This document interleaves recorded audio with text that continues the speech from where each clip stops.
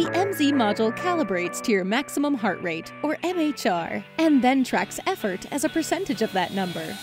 During workouts, you'll end up in one of five zones based on your intensity. When your effort is 50 to 59% of your MHR, you're in the gray zone. Great for warm ups and cool downs, you can start and end your workouts here. 60 to 69%. The blue zone is ideal for building a fitness base, cooling down, recovery workouts, or long duration exercise. 70 to 79%. The green zone is great for burning fat and recovering during high intensity interval and tempo training.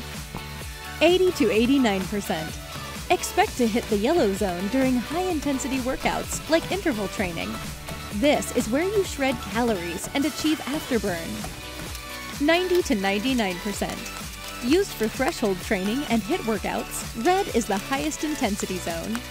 You may find you can stay in the first half of the zone easier than when you hit the 95% and above. Your fitness level will determine how often and how long you can exercise here. Remember, the yellow and red zones both provide four MEPs. During cool down, keep your belt on. You'll keep earning MEPs until your heart steadies below the gray zone.